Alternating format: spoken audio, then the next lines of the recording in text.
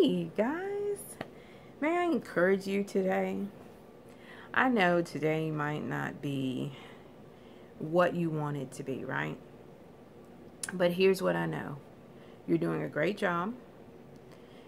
Though those voices in your head are telling you, oh my God, I don't know why you're trying to get whatever you're trying to get done, bypass all of that because there is greatness on the other side of this thing.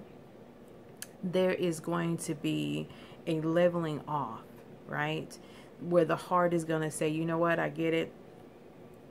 Life don't always play out the way I want it to. But if I can hold joy in my heart, right?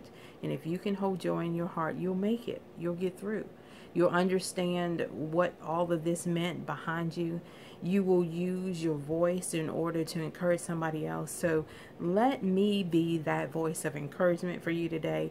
You are on the on your way to greatness. Okay, guys, I'll talk to you later. Bye.